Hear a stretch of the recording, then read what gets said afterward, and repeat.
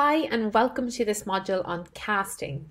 So this is our fourth module in the fundamental series. So if you haven't yet, please feel free to check out our previous modules in the series.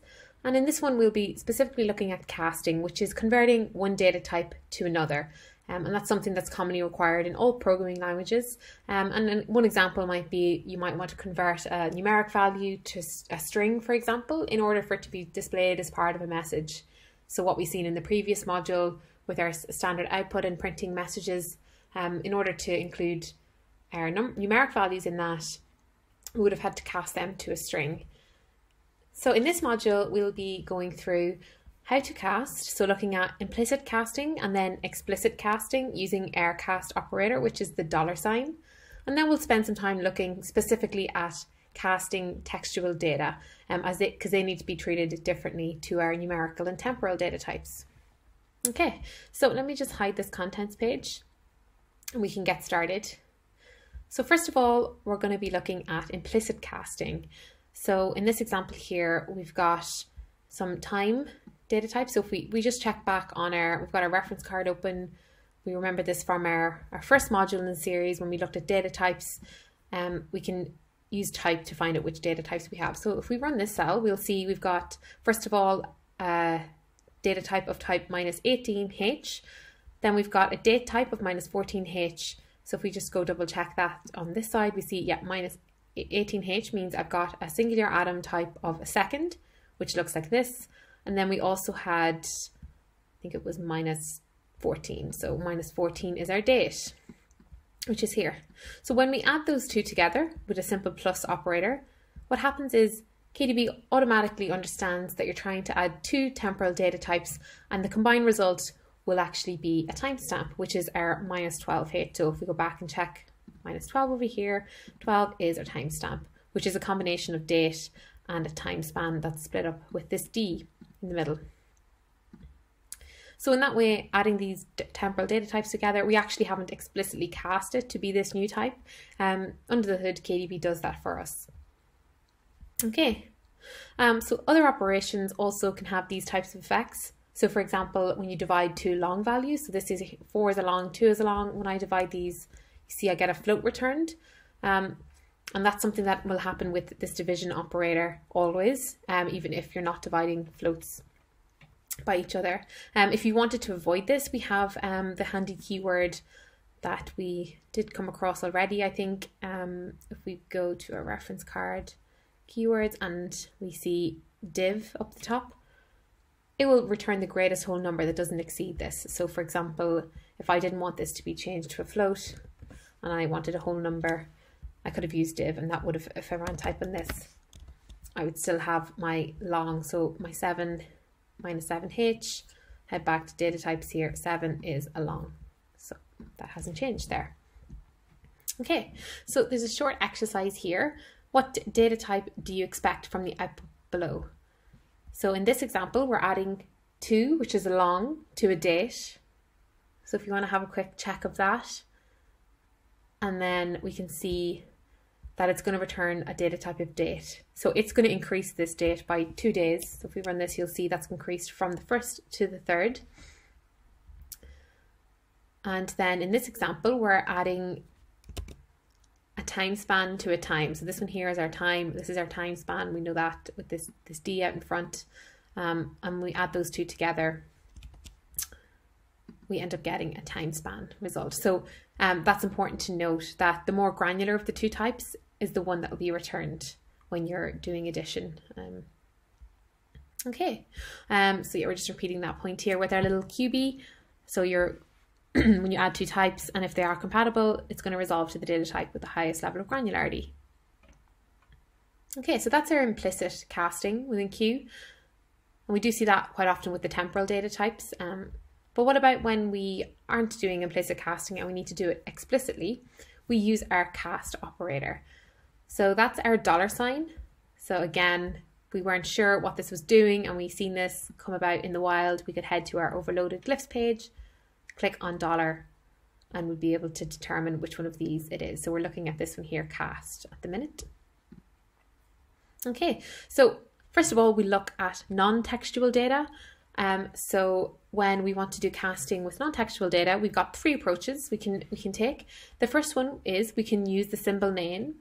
So that's our symbol name as, as is on our data types page. So if we head back to data types um, on our reference card, we'll see the name here. So that's that, that name. The second option is its character letter, which is in the case of float is F. So that comes from this C column. And then the third option is the short value or the short name. So that would be the this numeric with it always got a H at the end of it. So that's coming from this N column. And then we add on H as well to indicate it's the short value. So basically our three ways to do casting on non-textual data is using one of these three columns. So your first three columns in your data types is, is your three options of how you can um, cast your data. So let's take a look with some numerical data types. So we've got this list of longs, we've got 10, 20, 30. We're going to use um, first using the symbol name, which is backtick float, and then cast and the list passing at the list. The second one is its character letter. So we pass that in in between a, a string. So um, it's because it's our character letter. And then the third option is we just pass the short value. So if we run these three things, you see we get the same three things outputted here. So we can choose whichever of those we feel more comfortable with. And just to prove that these are actually equivalent, we are doing some matching down here. So just to show you again, this is our infix notation. We're also just showing you the option here to use functionals. Remember, we can see the square brackets. That's our functional notation. Um, we could have just put this down here. Um, and we're just showing you can cast using our symbol name and then we're using our match operator just to check for the equality and then we're using the, the character value here. And similarly, we're doing the same thing with the, the short value. And we should be getting one B's back, which we are. So we know that these are all equivalent. Okay. Yeah, in the next example, we're gonna take a list of integers so that's defined by this i at the end of our list. That means these are all integers. And we're going to cast to three different data types, three different ways. So the first one is a date using the symbol name. The second one is a time type using our short value. And the third type is a byte using the character value. So if we run that, we'll see what we get. And it's just interesting to note zero integer is actually the first day of the millennium. So that's the first date in KDB. So if you put in um, minus one here, you'd see that was the day before the first day of the millennium here. Um, and then when you cast to a time type here, you can see we get time results here. And then we get our bytes resulted here. And just to note as well, when you're going from a more granular to a less granular type, so for example, a float to a long, in this example here, we've got 5.4. When we cast to a long, we'd actually only get the value of 5 returned. So let's just do that and see, is that what happens? Um, so I need to have my back tick at the front. So yeah, I'm only getting 5 returned. So then if I try and go back to a float by casting that back, and I got my dollar sign, you'll see my float returned as 5F. So I've lost that 0.4 granularity. So that's something to just be aware of, especially when you're loading in data.